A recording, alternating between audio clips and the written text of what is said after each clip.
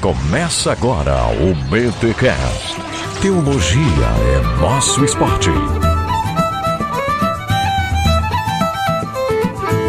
Muito bem, muito bem, muito bem. Começa mais um BTcast, número 274. Eu sou o Rodrigo Bibo e será que eu sou reformado? Tô em crise agora. Me ajuda, Mariano. Legal, aqui quem fala é o Wellington Mariano e eu quero dizer para vocês que em termos históricos e em termos teológicos não existe batista reformado e não existe pentecostal reformado. Eita, que ele já começou, que ele já começou. Gente, estamos aqui em mais um BTcast com uma reflexão aí também importante para todos nós protestantes. Nós já tivemos aqui em nosso canal um podcast falando sobre o que é ser reformado. E aí, como vocês acompanharam aquela dupla de podcasts que a gente fez, né? Não é dupla de podcast, mas aquela a gente fez o Sínodo de Dort em duas perspectivas, né? Calvinista e arminiana. E aí o Wellington Mariano na gravação falou para mim, Bibo, eu acho que a gente pode ainda ampliar aquela gravação que você fez sobre o que é ser reformado. O Mariano está estudando, né, é, profundamente a reforma na Holanda e por aí vai. Se você não ouviu os podcasts sobre o Sínodo de Dort, meu amigo, com Leandro Lima e o Wellington Mariano, volta lá, sério. Antes de ouvir esse aqui, volta lá, ouve, ouve aquele episódio sobre o que é ser reformado e depois você volta para esse aqui. Mas se não quiser fazer isso agora, já que tá na vibe, tá no clima, pode continuar aqui. E hoje a gente vai então ampliar este assunto sobre o que é ser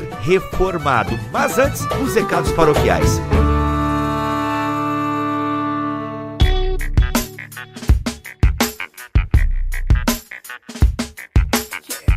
Os recados paroquiais dessa semana. Olha só, pessoal, chegamos a 30 mil inscritos no nosso canal no YouTube. Aê!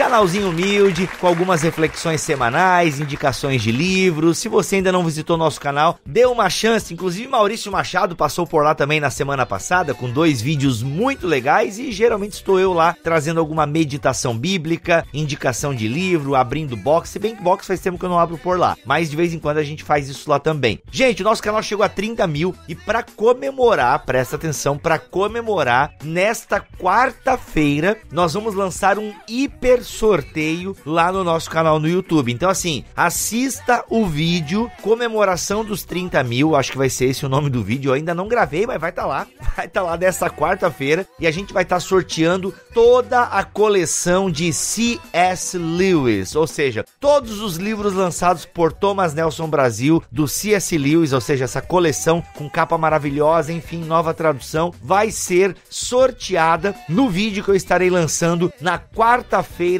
em nosso canal. Então, se eu fosse você, tô ouvindo aí, corre, já entra lá no canal, se inscreve, assiste o vídeo. Aliás, se você tá ouvindo na terça, aguenta que o vídeo vai sair na quarta-feira, tá? Já dê joinha, se inscreva no canal, enfim, fique ali pelo nosso canal para participar do sorteio. Vai ser muito fácil participar do sorteio, beleza? E olha só, se você ainda não nos segue também no Instagram, a gente chegou a. Deixa eu ver, a gente tá quanto lá no Instagram? Chegamos a 30 mil no Instagram também. E, gente, o nosso Instagram é o seguinte: ele é bem legal. Por que, que ele é bem legal? Porque tem. So... Ah, não, estamos em 20 mil no Instagram, tô viajando, tá? Mas a gente faz sorteio quase toda semana lá no nosso Instagram também. Então siga lá, você tem os bastidores do Bibotalk, enfim, tem reflexões. Lá também tem indicação de literatura. Então, se você ainda não nos segue no Instagram, corre que vai ter sorteio de livro também por lá. Beleza? Gente, dito isso, quero dizer que estamos chegando aí em dezembro e janeiro, que são meses que, em termos financeiros para o Bibotalk, para qualquer missão, tá, gente? Essa que é a verdade, que a maioria dos missionários sofrem um pouquinho nessa fase de dezembro e janeiro, o que é normal, não deveria ser, mas é normal. Então, você que é mantenedor, eu peço que você atente bem para suas contribuições em dezembro e janeiro para ver se entrou certinho mesmo, se você não estourou o cartão. E é importante que você nos considere, por favor, ou melhor, que você continue nos considerando em dezembro e janeiro. E se você que ainda não é mantenedor tá pensando, pô, eu sempre pensei em ser mantenedor, mas sempre deixei para lá. Enfim, a melhor época para você entrar é agora, dezembro, janeiro, porque é onde as arrecadações têm uma queda bem brusca mesmo. Então assim, gente, o que é normal, né? Conversa com qualquer missionário aí, ele vai dizer que dezembro e janeiro é porque as pessoas acabam focando mais, né? Tem muito presente, tem muita coisa da família e do trabalho. Eu, eu entendo também esse lado, tá, pessoal? Então eu só quero trazer aquele remember, que às vezes você tá com a cabeça tão ocupada em outras coisas aí, só lembre de nós. Lembre-se do Bibotal Bibotalk. E se você ainda não é mantenedor, entre agora. A partir de 10 reais você pode ser mantenedor do Bibotalk. 10, 50, 100, até mesmo mais. O link para você se tornar um mantenedor está aqui na descrição deste episódio. Se você tem alguma dúvida, pode mandar um e-mail para mantenedores@bibotalk.com. mantenedores@bibotalk.com. Tá bom, gente? É isso. Estamos por aqui em mais um episódio. Ouça com atenção, porque o Mariano traz umas reflexões aí que precisam ser consideradas,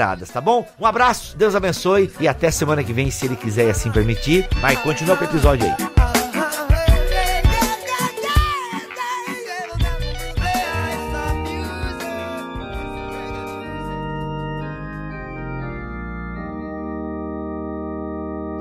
Mariano, como eu falei na abertura do programa, a gente já fez um episódio explicando o que é ser reformado. E para as pessoas que não foram é, lá pro episódio ouvi-lo, mas estão aqui, então eu vou resumir, e é bem resumido mesmo, como nós definimos essa questão do que é ser reformado. Então, basicamente, a gente definiu que tem o reformado stricto senso e o reformado lato senso. O reformado stricto senso é aquele que abraça os cinco solas e os cinco pontos do calvinismo. E o reformado lato senso é aquele que abraça somente os cinco solas e ele não abraça necessariamente os cinco pontos do calvinismo. E uma das coisas que foi falada lá também, se eu lembro bem, e até tem um livro, acho que é o Carten Lindenberg que traz isso, que o termo reformado ele foi primeiramente utilizado por Zwinglio, justamente para se diferenciar ah, do movimento luterano, se não me falha a memória. Pois bem, aí eis que vem você agora e a gente pode ampliar essa questão. Então, Mano, e aí? Como é que tu definiria então? Qual definição você daria para esse conceito, o ser reformado? Primeiramente, Bibi, eu quero deixar bem claro que, que os problemas que nós temos, problemas no sentido de discussões, no diálogo entre cristãos de tradições diferentes,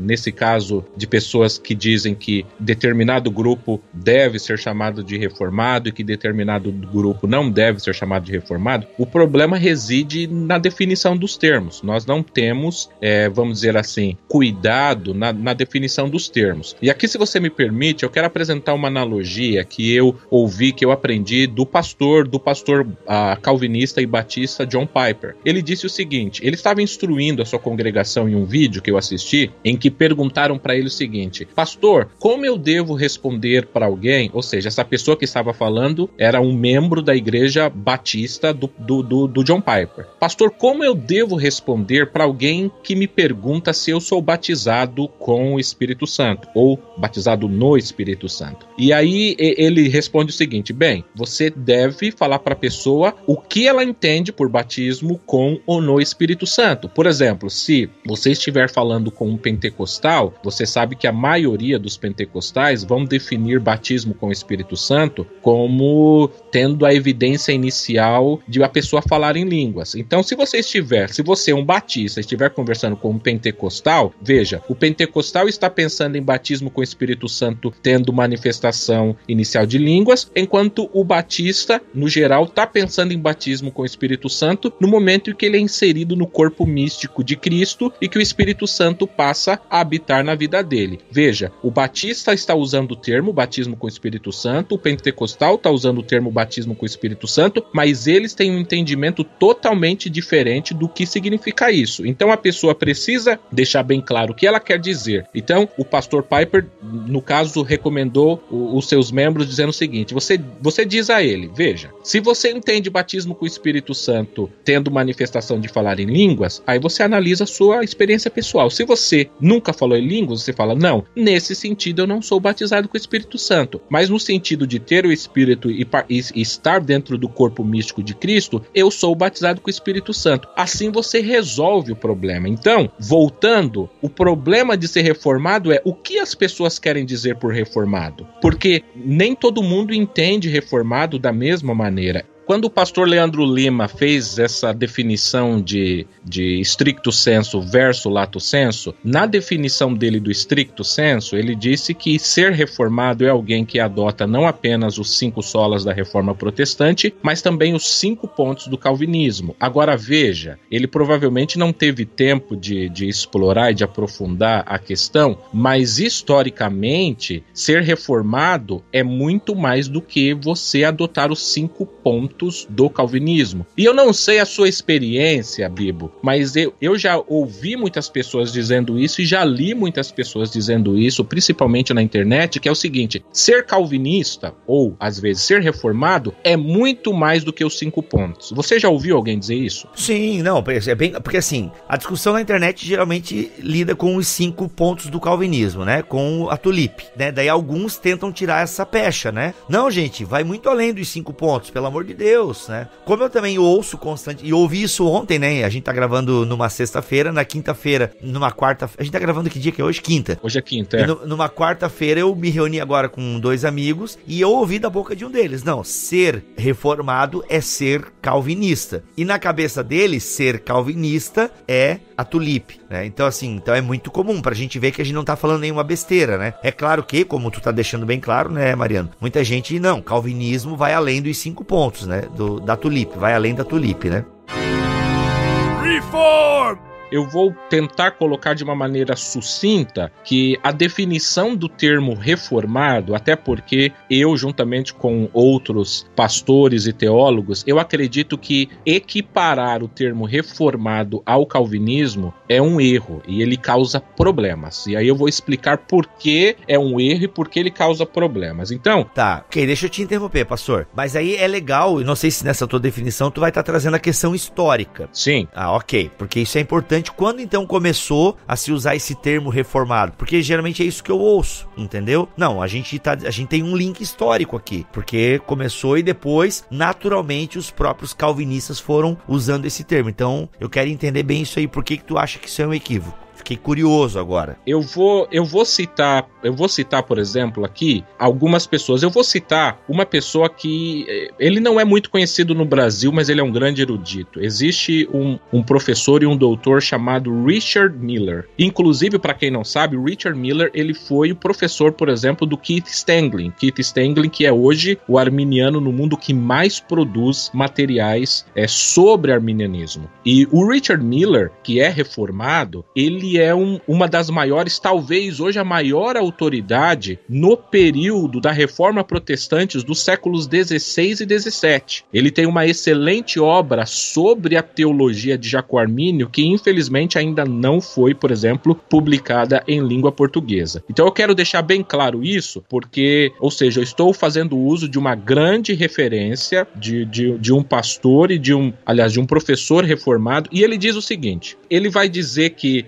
no início da, da reforma protestante, o termo reformado ele era o equivalente, Biba, ao que nós chamamos de evangélico hoje toda pessoa que tivesse pensamentos que nós chamamos hoje de protestantes, que fossem contrários à teologia católica, à prática católica como um todo, ele era chamado de reformado. Então, no início, nesse período de início, que vai provavelmente até de 1560 a 1590, então, vamos dizer assim, praticamente no século de, até o final do século XVI, ser reformado era basicamente dizer essa pessoa não é católica. Então, por exemplo, anabatistas podiam ser chamados de reformados, é, zwinglianos eram reformados, calvinistas eram reformados, luteranos eram reformados. Todo esse grupo nesse caso. E no caso que se aplica também ao arminianismo. O arminianismo e Armínio nessa época eram reformados. Depois disso, começou a se fazer uma distinção, ou seja, tanto o movimento protestante que nasceu com Lutero e que depois teve essa grande contribuição de, de Calvino, eles passaram a ser diferentes. Mas, por exemplo, se você você citou o Carter Lindbergh. É, se não me engano, foi nele que eu li que começou com a turma de Zwinglio, o termo reformado. Isso ajuda a explicar. Eu eu começo a me adiantar aqui, mas me ajuda a explicar por que reformado não deve ser equivalente a calvinismo. Por quê? Porque o termo reformado, ele vai ter contribuições de, por exemplo, ele vai ter contribuições de Zwinglio, ele vai ter contribuições de Bullinger, ele vai ter contribuições de Farel, ele vai ter contribuições de, de Beza. Então, quando as pessoas falam calvinista, basicamente elas estão querendo dizer eu adoto o pensamento de Calvino, mas a teologia reformada é uma amálgama né, de pensamentos de vários outros pastores. Por exemplo, podemos falar de ser reformado sem mencionar em Zwinglio? Será que é possível isso? Não, mas não e sim, né? Agora eu fiquei confuso, porque se é uma parada que depois a igreja inteira vai, né, da época vai utilizando, é claro que se a gente for reconhecer a origem histórica,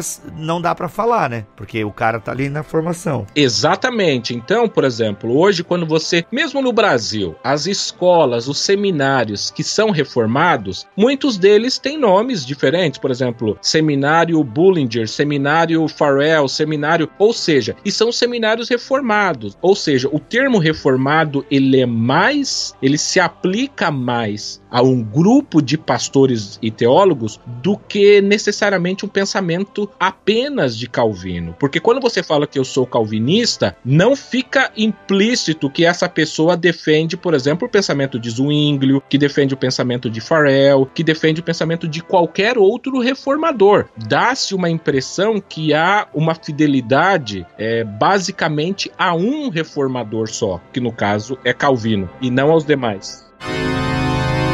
Reform! É, eu vejo que essa questão de nomenclatura, ela às vezes atrapalha. Vamos pegar um exemplo assim. Tem muitos calvinistas brasileiros que são batistas. Sim. E que, em termos eclesiológicos, diferem da presbiteriana, por exemplo. Então, até o termo calvinista, eu acho que ele não remonta mais a Calvino. Eu acho, e aqui, gente, é bem o que eu acho, tá? Mas hoje em dia, pelo que eu analiso as pessoas, ao mesmo tempo que eles dizem que calvinismo não é só os cinco pontos, mas parece que é, porque como é que o cara é calvinista? E ele não batiza crianças, só para pegar um exemplo da soteriologia, né? Então o próprio termo calvinista ele acaba sendo um termo mais elástico. E às vezes a gente acaba tendo algumas confusões. E por exemplo, assim, é inegável que o termo reformado foi abraçado pelos calvinistas, entende? Sim. Agora, aí os calvinistas, mas então quem são esses calvinistas? Bem, nós temos calvinistas que seguem a teologia de Calvino, mas nós temos aí calvinistas que seguem também os posteriores a Calvino. A gente tem calvinistas que pegam somente a, o conceito soteriológico de Calvino, mas batizam crianças. Ou, por exemplo, assim, até mesmo na questão da ceia, talvez a maioria dos batistas não fechem com Calvino. Então, pô, o que é ser. Aí a gente teria que até discutir o que, o que seria ser calvinista, entendeu? E aí é exatamente nesse ponto que eu defendo que você utilizar os dois termos como sinônimos é exatamente aí que reside o equívoco. Olha aí. Por quê? Deixa eu explicar aqui que eu acho que na explicação, Bibo, você pode me interromper naturalmente, como você sempre faz, pra gente ir dialogando. Não no sentido mal. Eu gosto. tudo bem, não, eu gosto quando você fala, por exemplo, você se coloca no papel do ouvinte para dizer, às vezes você disse algo, mas e aquele ouvinte, ele entendeu isso? O que, que você quer dizer? Exatamente. Isso, justamente, isso mesmo, perfeito. Então, vai lá. O termo reformado historicamente, ele foi definido em inúmeras confissões, Bibo, e catecismo. Então, por exemplo, quando as pessoas falam o calvinismo é mais do que cinco pontos, eles estão no geral querendo dizer o que é ser reformado, mas como as pessoas chamam calvinismo e reformado de, de sinônimos, aí vira essa bagunça, porque o termo reformado, ele foi definido, por exemplo, se você pegar os livros dos principais teóricos, pastores e teólogos que escrevem sobre o que é ser reformado, você vai ver que quase sempre você vai encontrar essas seguintes características. O ser reformado pressupõe subscrever, ou seja, assinar as três formas de unidade das igrejas reformadas, que são a Confissão Belga, o Catecismo de Heidelberg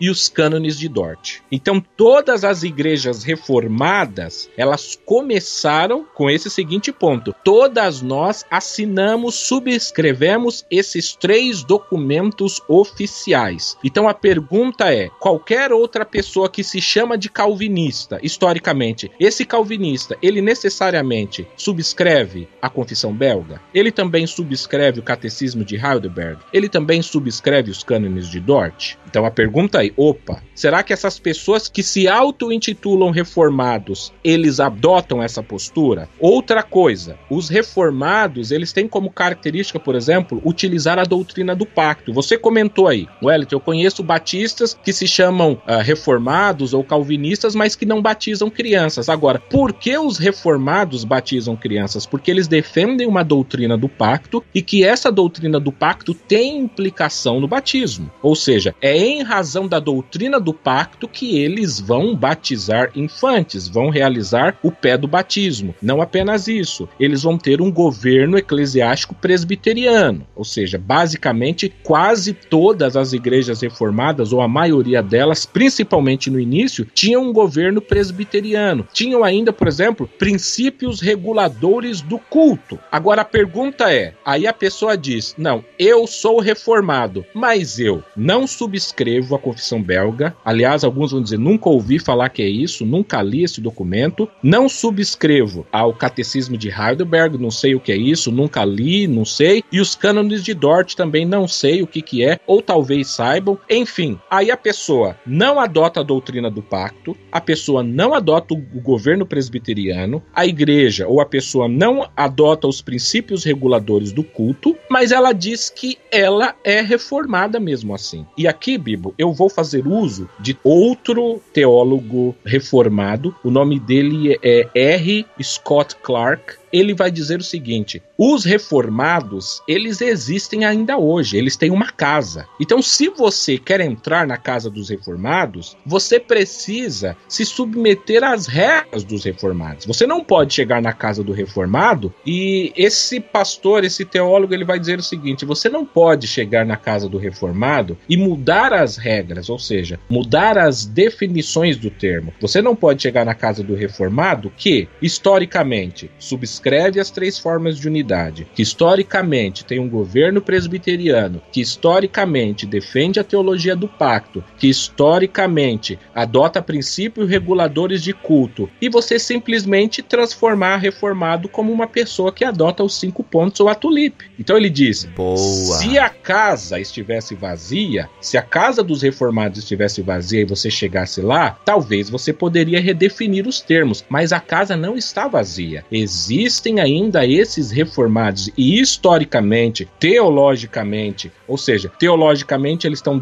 eles têm basicamente uma, uma maneira de entender a soteriologia, uma maneira de entender a escatologia, uma maneira de entender a teologia do pacto, o batismo e ainda eclesiologicamente falando, eles também têm um governo presbiteriano, eles têm princípios reguladores do culto. Ele diz: você não pode chegar e escolher dentre todo esse conjunto que compõe o que é ser reformado e simplesmente transformar em reformado, que é adotar os cinco pontos, a tulipe do calvinismo. Isso não funciona. Tá, peraí, se eu tô pegando o fio da meada, é, é sério isso aí, hein? É sério, é sério.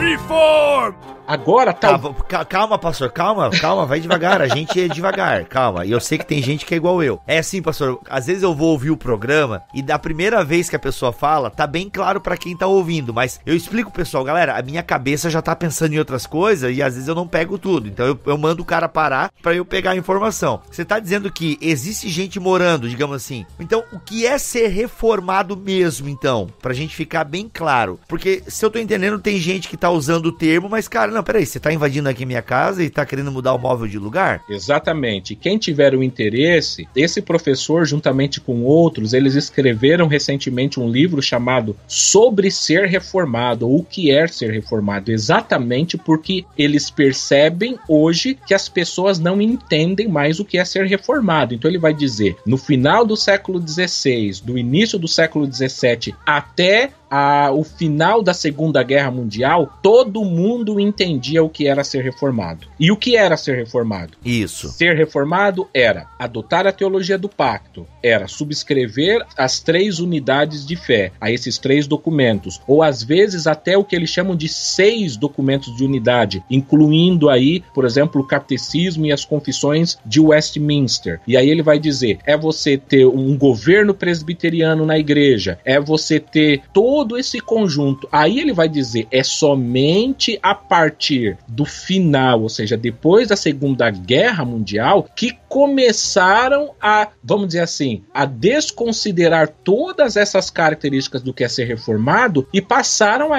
a chamar reformado simplesmente qualquer pessoa que adotasse os cinco pontos do calvinismo. E é aí que resume, é aí que reside o problema. Por isso que não se pode chamar reformado de calvinista e calvinista de reformado. Porque o reformado ele é calvinista. Calvinista é basicamente, historicamente, é sempre chamado, e nós falamos isso, ah, eu sigo a tulipe. A tulipe são cinco pontos. Então, os cinco pontos não falam de eclesiologia, os cinco pontos não falam de, de, de princípios reguladores de culto, os cinco pontos não abarcam é, teologia do pacto, os cinco pontos só tratam de soteriologia. Então, quando você fala fala que você adota a tulipe, você é calvinista na soteriologia, mas isso não significa que você seja reformado, que é algo mais amplo. Então, os reformados são calvinistas, mas os calvinistas não são necessariamente reformados. Entendi. Tá, mas aí essa mudança, né, a partir da Segunda Guerra, tu falaste, né? É. Ela foi sendo bem aceita, né, em princípio, porque hoje em dia ela tá aí, viva, firme e forte. E aí, mas daí que, a, não sei se a gente, eu não, eu não tô mais com a pauta aqui na minha frente, que eu tô seguindo na fluidez fluidez do papo aqui, pastor. Sim. Mas aí então entra o problema, porque a galera começa a fazer essa mudança convencionalmente, né? Então a partir da Segunda Guerra Mundial, e ela dura até hoje. É, lembrando que tudo isso que você tá falando, você tem livros aí que amparam essas informações, Exatamente. né? Depois até a gente pode botar aqui na descrição do, do post. Mas aí hoje em dia, por exemplo, se compra isso, né? Para muitas pessoas, eu não posso ser arminiano e reformado, que isso é para essas pessoas seria uma contradição de termo. Mas espera aí, historicamente falando, o Armínio poderia se encaixar, então, é, dentro de uma categoria reformada, não? Dependendo da definição que você vai dar. E aqui, deixa eu, apresentar rapidamente o que aconteceu. Por exemplo, vamos lá. Esse próprio professor Richard Miller, que eu mencionei aqui, ele vai dizer sim, em alguns aspectos, Armínio é reformado. Por exemplo, Armínio, ele estudou em, em escolas reformadas. Ele foi pastor de uma igreja reformada e ele foi professor de um seminário reformado. Armínio,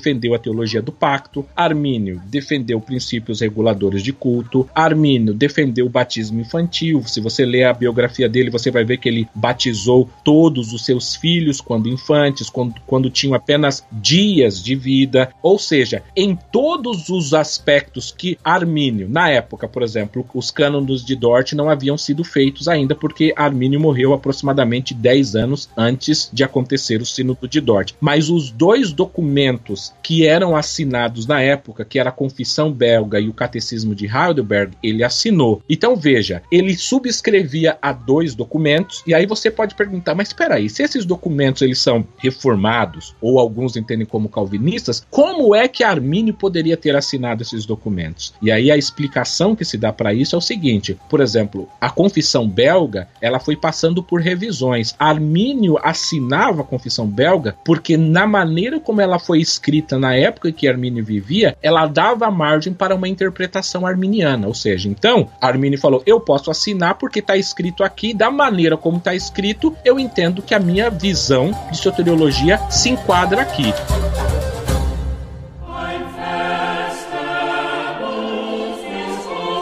Por exemplo, assim, eu creio na predestinação óbvio, beleza, né? Porque eu acredito. Então, só o pessoal entender assim que a palavra predestinação, ela não é, é, até onde eu conheço um pouco do arminianismo, a gente não tem problema com a palavra. Exatamente. Agora a questão é, essa predestinação, ela, ela acontece de que maneira? Por presciência, por determinação? Esses documentos não tinham essa clareza na maneira que eles eram escritos. Então, Armínio pôde assinar esses documentos porque ele não via conflito nisso. Por isso, então, na época dele, ele subscreveu esses dois documentos, que eram os documentos oficiais da Igreja Reformada, e tirando a soteriologia, todo outro conjunto da teologia reformada, ele fazia parte. Outra coisa, em termos de afiliações eclesiásticas, como eu já mencionei, ele fazia parte da Igreja Reformada, foi professor da Igreja Reformada e um dos principais líderes da Igreja Reformada da sua época. Ou seja, ele é reformado nesse sentido, mas ele não não é reformado no sentido soteriológico. Veja, então, basicamente, muitos vão dizer Armínio, na sua época, nesse sentido, ele pode ser chamado de reformado. Agora, ele não pode ser chamado de calvinista. Por quê? Porque nos cinco pontos, ele não os adotava. Agora, um exemplo que eu achei muito interessante, que eu acho que é muito didático para se entender, se você me permite, eu vou utilizar, o,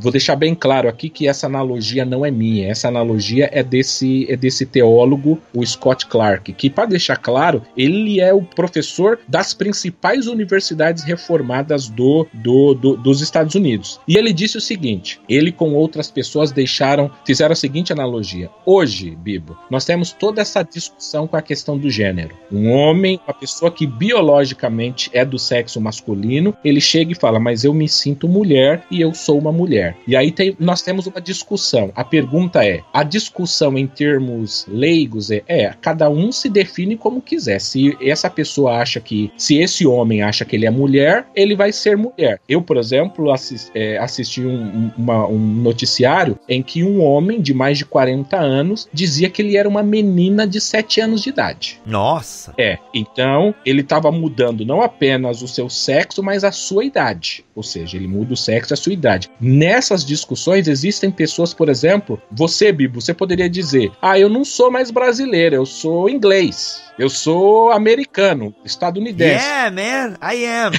You know?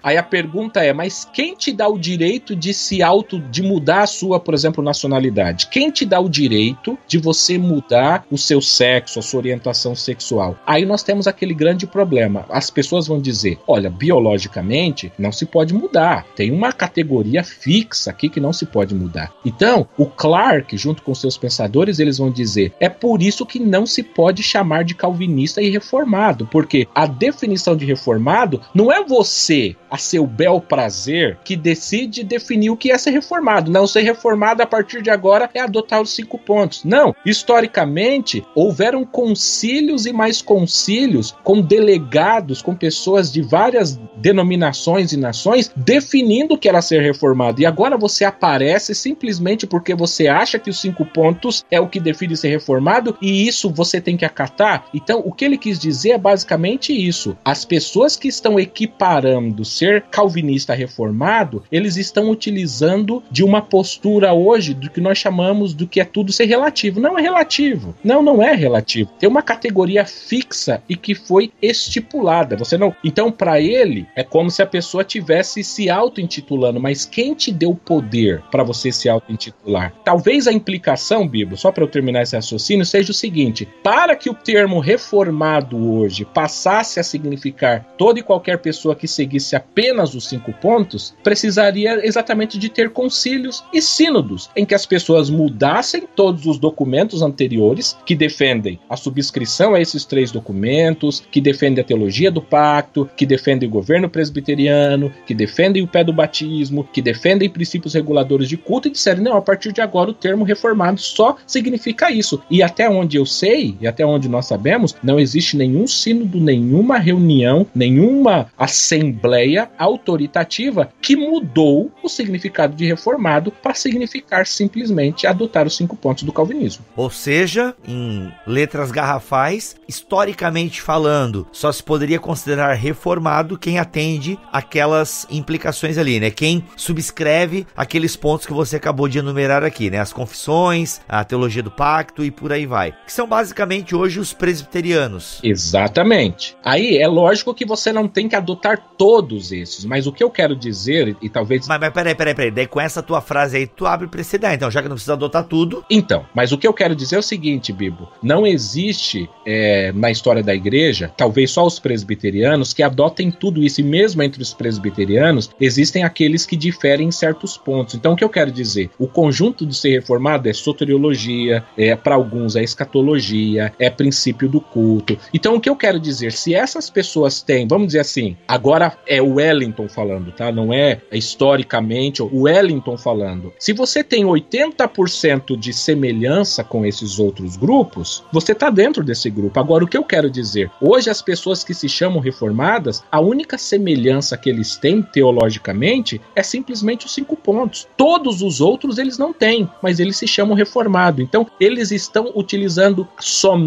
a soteriologia para definir o que é ser reformado e o que não é. Mas não é bem assim. Reform!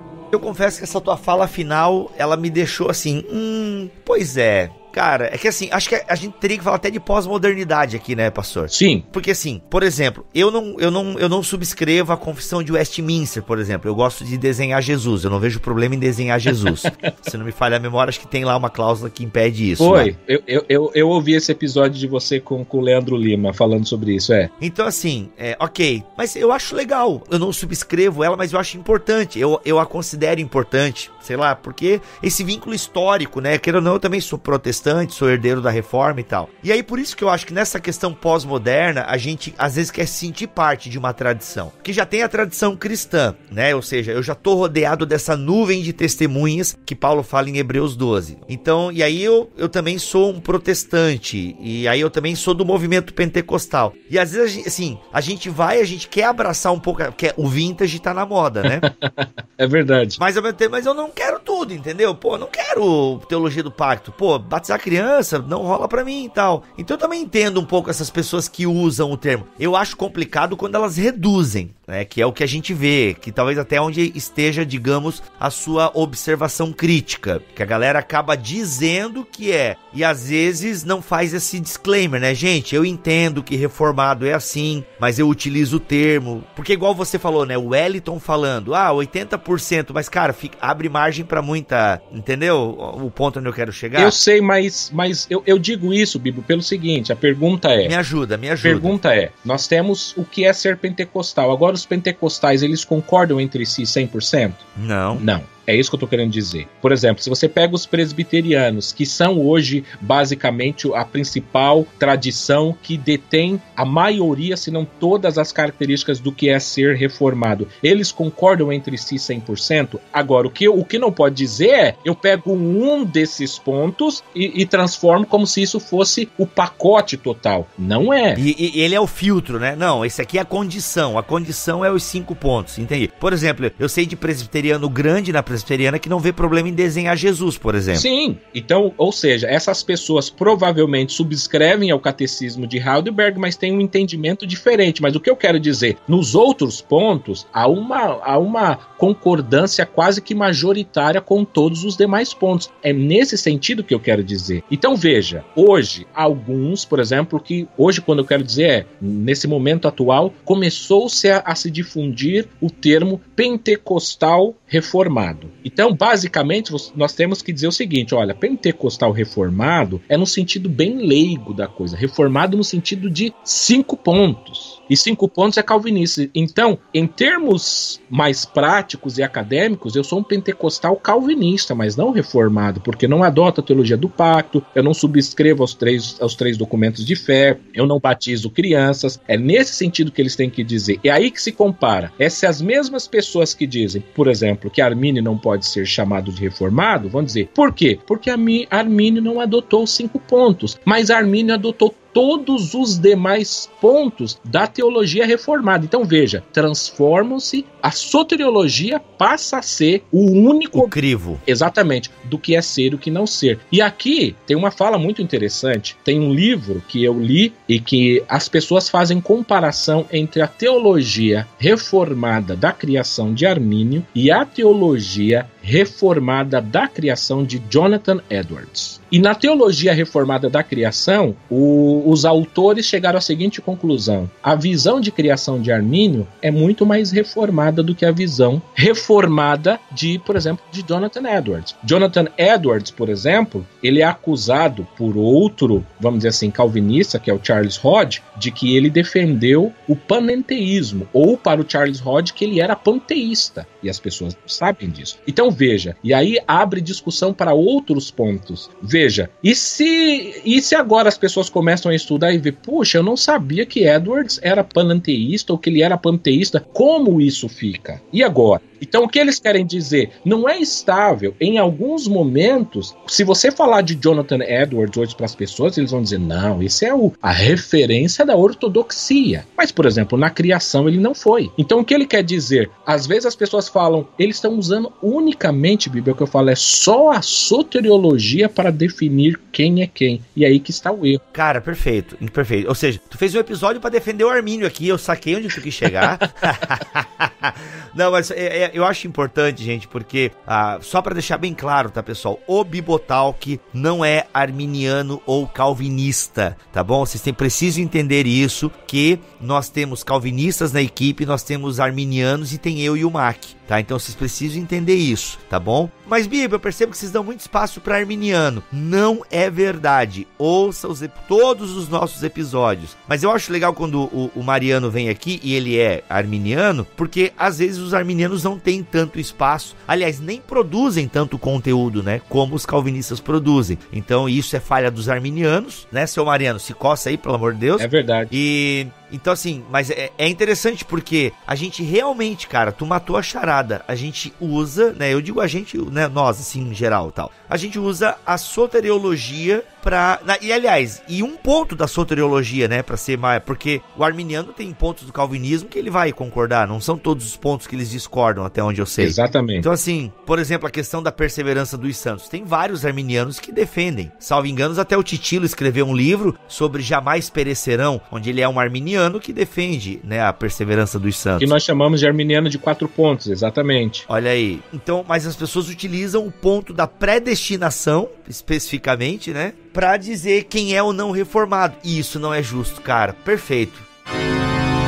Reform! Eu acho que assim, para mim ficou claro, espero que o ouvinte também tenha ficado claro. E aí, antes de dizer que Armínio não é reformado, bem, você está usando qual crivo? Porque se o crivo é só soteriológico, não tá certo historicamente. É isso? Poderíamos dizer que, basicamente, eu não posso usar a soteriologia calvinista como crivo para dizer quem é ou não reformado, porque isso é trair a história. Poderia dizer isso? Exatamente. Agora, ou seja, se você adotar e você quer usar o termo reformado em termos históricos e teológicos, você tem que defender defender uma gama de, de outros pontos que não são apenas esses. Agora, o problema surge exatamente aí, quando as pessoas tratam calvinista como igual a reformado. Então, quando a pessoa fala Armínio foi reformado, você precisa parar e lembrar da analogia que eu fiz no início: é o que você significa por reformado. Se você está chamando reformado apenas soterio, soteriologicamente, não, Armínio não foi. Agora, se você está tratando de reformado todos os outros pontos, muitos desses pontos Armínio foi. E aí você deixa claro e aí o diálogo prossegue. Agora, partir do pressuposto que todo mundo entende reformado como o mesmo termo e que reformado é sinônimo de calvinismo, é um equívoco. E aqui eu quero dizer agora, por exemplo, que ao estudar e me preparar para esse podcast, esses professores que eu consultei, eles também fizeram a seguinte analogia que eu acho muito importante. A pergunta que ele fez é o seguinte: e se os batistas de hoje, que se auto-intitulam reformados, tivessem estivessem na confissão de Westminster, eles seriam aceitos? E se esses pentecostais que se chamam pentecostais reformados, se eles estivessem na Suíça de Calvino na época e apresentassem a teologia deles, eles seriam tidos como pentecostais reformados? E a resposta, naturalmente, é, é um grande não. Eles não seriam aceitos, porque simplesmente seguir os cinco pontos não era para Calvino ser reformado e não era para a confissão de Westminster. E aí ele disse: e essa pergunta nem precisa ser hipotética, porque isso aconteceu. A confissão de Westminster Westminster foi escrita em 1646. Os batistas surgiram entre o ano 1608, 1609 e 1610, ou seja, tinham entre 30, pelo menos 30 anos já que os batistas surgiam. E aí ele conta um caso é, historicamente importantíssimo. Ele disse: por que as pessoas que escreveram o catecismo e a confissão de Westminster deixaram os batistas de fora? Os batistas não participaram. Por quê? Porque era uma, um catecismo, uma confissão reformada. E naquela época, os batistas não eram tidos como reformados. Por quê? Porque eles não adotavam os outros pontos. Então veja, aí que fica claro: reformado é uma coisa, calvinista é outra coisa totalmente diferente. Então, eu acho que essa pergunta é muito válida. Se eu estivesse num sínodo histórico com a minha teologia de hoje na presença deles, eu seria aceito? Se eu não seria aceito naquela época, por que é que eu seria aceito agora? Alguma coisa mudou? Aí que eu volto àquela pergunta. Foi realizado algum outro concílio, algum outro sínodo autoritativo que mudou as regras? Ou as regras continuam as mesmas? Não foi, nem precisa. Viva a pós-modernidade. Você pode ser quem você quiser. Já tem a filosofia da Barbie, cara. Aí, ó, você pode ser quem você quiser. Entendeu? É, não tem que ter sino nada. Eu quero ser. E a partir de hoje eu vou dizer que eu sou reformado. É isso, pronto. sou reformado, eu posso ser o que eu quiser. Não, mas entendi, cara. Perfeito. Né? O que que chancela essa tua escolha, né? Exatamente. Bem, há um grupo de pessoas que resolveu que seria assim. Muito bom. Ou seja, gente, sabe qual é a moral da história que eu tiro desse episódio todo? Seja menos, tá? Seja menos. sabe? Respeite as pessoas, entende? Não brigue por ah, porque, sabe, cuidado com algumas afirmações, sabe? Cuidado, seja menos, seja menos orgulhoso, sabe? Seja menos, é, ah, eu faço parte do movimento reformado. Cara, se você entendeu o que foi falado hoje aqui, talvez Armínio fosse mais reformado do que você. Então, não tem por que a gente brigar, gente. A gente, né, se é para ser certo, então vamos ser certo e, e embasado na história. Então, se você às vezes usa o termo e fica aí dizendo que arminiano ou outra pessoa não pode usar, peraí, será que você também pode? Então, vamos ter mais cuidado aí. E você, Mariano, então você não se considera um reformado? Olha, nesses, nesses sentidos não, é o que eu falei. Agora, se nós estivermos usando no sentido que foi falado pelo professor Leandro Lima também, lato senso, que algumas pessoas usam, usam hoje, eu sou reformado no sentido de que eu sou protestante, eu não sou católico, nesse sentido sim. Agora, se você estiver falando, não, você é reformado, vamos dizer assim, estricto senso, o que, que é estricto senso? Não, eu, eu não sigo a soteriologia calvinista, eu também não subscrevo nenhum desses documentos, é, eu não tenho, por exemplo, não sou o pé do batista, então aí tem uma série de coisas que eu não me enquadro. É como se fosse assim, uma pessoa hoje entrasse, vamos dizer assim, na minha casa, na casa do, do pentecostalismo, e começasse a mudar, mudar as regras. Eu falo, peraí, peraí, tem algumas coisas aqui que precisam ser, precisam ser mantidas. Você entendeu? Então, eu entendo quando esses reformados estricto senso defendem isso. E aqui vai muito bem no seguinte sentido: muitos calvinistas nessa briga, né, nessa discussão com arminianos, eles falam: "Não, vocês não são por causa disso, porque vocês não seguem os cinco pontos". OK, tudo bem, eu entendo a sua, a sua colocação. Agora, você criou essa regra, mas essa regra não é a, a totalidade das regras. Então veja, você usa uma regra para os arminianos que eles não podem ser reformados. E os reformados vão chegar para você, os reformados estricto senso vão dizer: "E nós temos uma régua que vocês calvinistas não são reformados. Vocês são calvinistas, mas não são reformados". Então, a mesma régua que muitos calvinistas usam contra os arminianos, os, uhum. os reformados têm todo o direito porque historicamente, teologicamente e eclesiasticamente, eles têm todas essas definições do seu lado. Eles podem dizer: "Mas sinto muito, mas vocês não fazem parte". Eu não mencionei aqui, mas rapidamente só para eu concluir. As igrejas, por exemplo, reformadas, elas também têm uma linha reformada. Você, você faz parte de que igreja? Da Igreja Reformada do Brasil? Da Igreja Reformada? Você é uma célula ou, uma, ou, uma, ou parte da Igreja Reformada da Holanda? Da Igreja Reformada da Inglaterra? Da Igreja Reformada dos Estados Unidos? Ou você faz parte de uma outra tradição? Ah, eu sou pentecostal. Então veja, em laços eclesiásticos, você também não vem de uma linha reformada. Então você consegue ver que a coisa é um pouquinho mais complexa do que as pessoas geralmente costumam apresentar.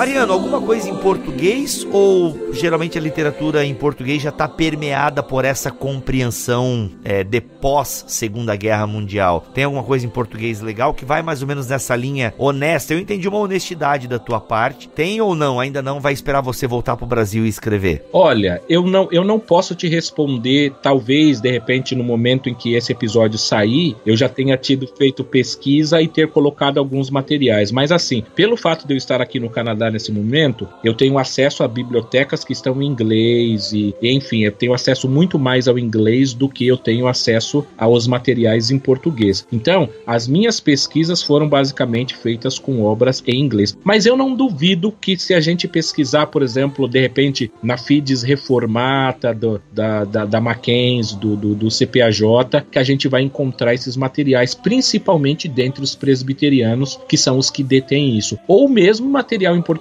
mais antigo, você entendeu? Agora, é lógico que esses livros de 1950, 1960 para cá, todos eles tratam reformado como calvinista, muitos deles como é, sinônimos, mas eles também não estão preocupados em explicar ou dizer o que, que é. Então a gente tem que ir atrás de uma obra que esteja preocupada exatamente em apresentar essas distinções que, que nós discutimos hoje aqui. Olha aí. Então tá. Então, ó, quem quiser inclusive transcrever esse podcast, fica à vontade. E Mariano, volta logo ou começa a escrever um negócio em português aí para ajudar a gente a, a, a ter ser um pouco mais honesto aí eclesiologicamente, teologicamente e cristianamente.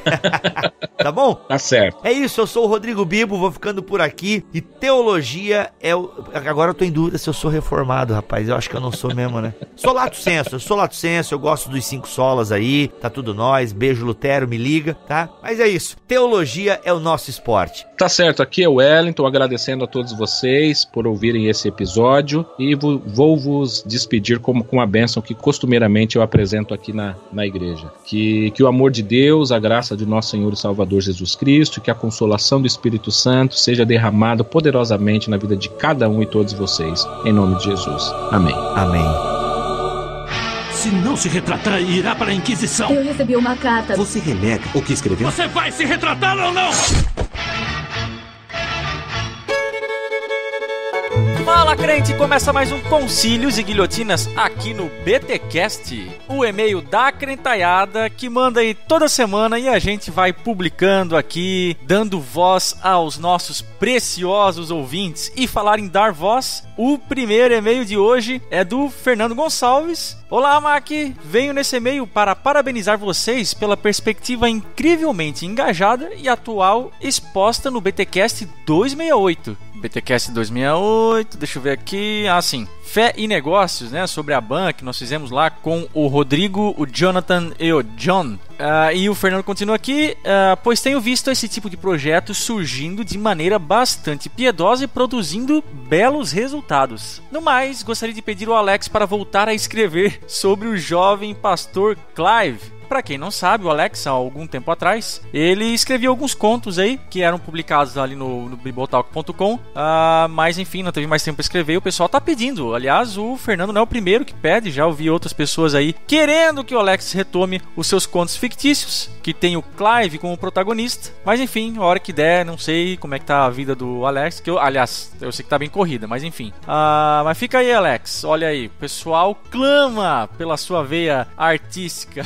Muito bem Ah, muito boa semana para vocês e fiquem com Deus, meus caros. Valeu, Fernando. Obrigado pelo e-mail. Outro e-mail aqui é do Rafael Coelho de Borja Simões. Ele mandou um e-mail gigante, então vamos dar uma resumida, beleza? A paz do Senhor, crentes. Ouço vocês há um bom tempo. Tá, eu negligenciei um pouco. Ah, me dediquei ao Nerdcast, MRG e outros, olha só que safado. Mas não abandonei esse podcast hemorrágico. Venho maratonando os BTcasts e tenho repetido vários episódios só para aproveitar mais. Mas o motivo do e-mail é o seguinte: eu sempre fui do tipo que quer fazer de tudo um pouco, mas que sempre é péssimo em tudo. Eu sou programador, fotógrafo, técnico de gravação de áudio e muitas coisas que finjo que sei fazer. O cara é honesto aqui, gostei da sinceridade. Ah, mas sempre tive o desejo de fazer vídeos para um projeto que sei que nasceu primeiro no coração de Deus, mas sempre tive aquele medinho. Mas, acompanhando vocês, vi inspiração para realmente fazer a vontade de Deus independente das condições. Então orei, chamei minha namorada e mais uma amiga e sugeri umas ideias para curtas metragens e as doidas toparam.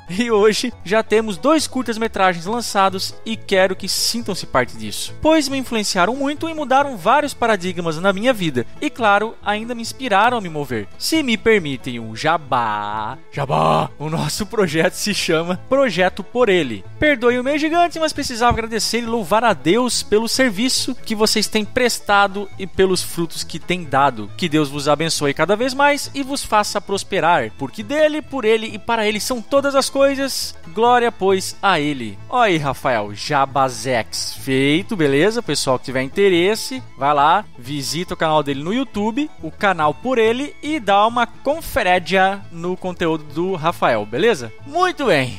Último e-mail aqui do Ronaldo. Ronaldo, Ronaldo, não tem sobrenome. Ah, fala Bibo e galera fantástica do Bibotalk. Eu conheci o ministério no final de 2016. Comecei a ouvir e acompanhei até mais ou menos abril de 2017, quando as provas de faculdade começaram. E voltei a ouvir em julho de 2018, depois que terminei o meu TCC. E agora estou maratonando o podcast principal, também o lado a lado. Abraço para as meninas. E estou em dia com o Fora do Éden. Abraço, Rogério. Gostaria de dar um testemunho da importância desse ministério para o meu ministério. Sou professor de escola bíblica na Igreja Evangélica Avivamento Bíblico, na congregação do Jardim dos Eucaliptos, em Ribeirão Pires, São Paulo. Há mais ou menos dois meses atrás, eu e meu pastor e o líder da escola dominical estávamos preocupados com a baixa participação dos membros na escola dominical. Ah, dominical, dominical, dominical. Foi onde surgiu a ideia de usar um culto normal de domingo. Em nossa igreja, cultuamos com a escola bíblica no domingo de manhã e temos o culto da família no domingo à noite. E assim fizemos. Meu pastor me deu liberdade de elaborar um tema, apesar de a denominação ter a revistinha da EBD, um material muito bom, por sinal. Como o culto foi marcado para 14 de outubro, o primeiro tema que me surgiu à mente foi a reforma protestante. Fui até o bom e velho Bibotalk e maratonei o tema. Montei um pequeno estudo falando brevemente sobre os pré-reformadores, Pedro Valdo, Wycliffe, John Hus e falei sobre Lutero e a situação da Igreja Católica. Aproveitei para falar dos cinco solas e compará-los à doutrina da nossa denominação. Falei uma hora e meia sobre o tema e o trabalho foi bem aceito. Então, mais uma vez agradeço a equipe pelo excelente material que é disponibilizado sempre. Mac, parabéns pelo excelente trabalho de edição dos episódios. Sim, eu já ouvi o episódio 303. Caraca, ele foi no, ele tá no futuro escrevendo esse e-mail. Ele ouviu o episódio 303, onde outro ouvinte elogiou por isso também. Caramba, olha, ó. Episódio 303 vai ser lido um e-mail onde um ouvinte vai me elogiar. Olha aí. Gostaria de sugerir que você colocasse nas postagens o nome do filme de onde você pega aquelas trilhas ou flashes que coloca nos episódios. Ele tá falando das vírgulas sonoras. Às vezes consigo pescar as diferenças, outras vezes não. Então, Ronaldo, é segredo. Eu não posso colocar, mas fica aí a curiosidade e o exercício de criatividade para quem estiver ouvindo as vírgulas sonoras e adivinharem da onde eu tiro elas, tá bom?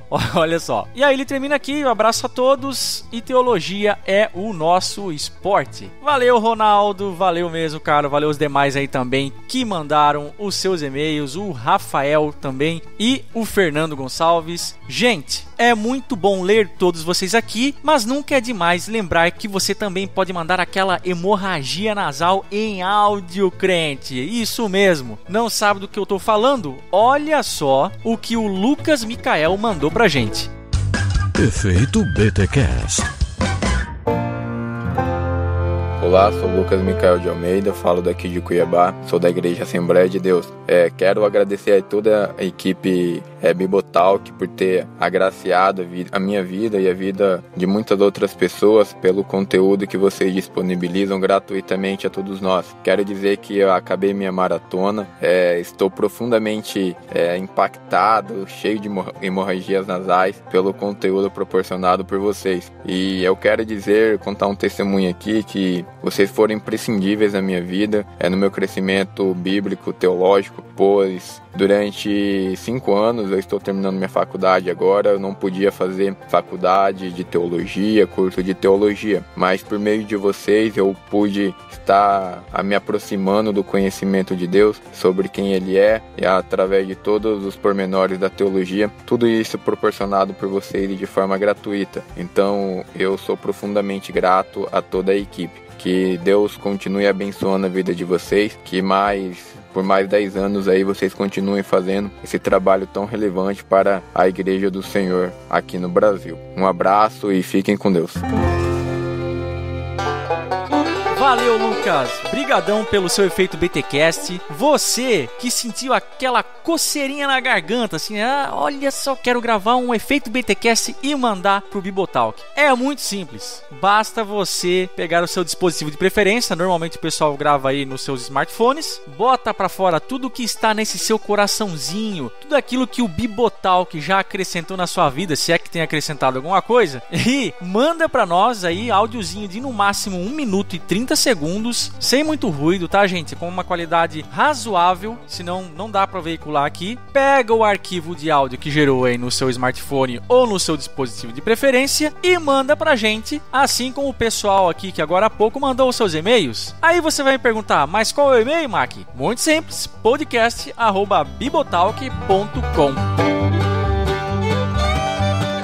E por último, mas não menos importante, estamos nas redes sociais: Facebook, Twitter, Instagram, Telegram. Muita novidade saindo em cada uma dessas redes sociais onde o Bibotalk se faz presente. E peço-lhes encarecidamente, ouvinte, que você nos siga em cada uma delas na medida do possível. Porque assim você fica sabendo de todas as nossas atualizações. E lembrando que em cada uma delas, eventualmente, nós falamos coisas diferentes, interagimos de forma diferente e tal. Fora que você aumenta o nosso alcance, tá bom? Muito nosso ministério depende de você, ouvinte. Então vai lá, dá uma olhadinha. Os links estão aqui na postagem desse BTcast. E claro, não podemos deixar de mencionar o nosso canal no YouTube, principalmente porque os últimos vídeos aí eu voltei para gravar com o Senhor Bibo. Olha lá, já saiu da data que eu tô gravando aqui, pelo menos dois vídeos, eu acho que tem mais um vídeo para sair ainda. Mas é claro, você não encontra só eu lá, na verdade o Bibo é quem grava a maioria dos vídeos. Vídeos esses muito bons, diga-se de passagem. E nem preciso te pedir, crente, para dar aquele joinha, para clicar no sininho para receber as notificações, para assinar o nosso canal e para compartilhar todo esse conteúdo nas suas redes sociais. Beleza? Bom, o que eu tinha para falar eu falei, eu vou ficando por aqui e se Deus quiser e assim permitir, nós voltamos no próximo episódio.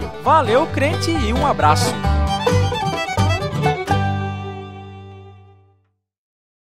Este podcast foi editado por Mac Bibotalk Produções.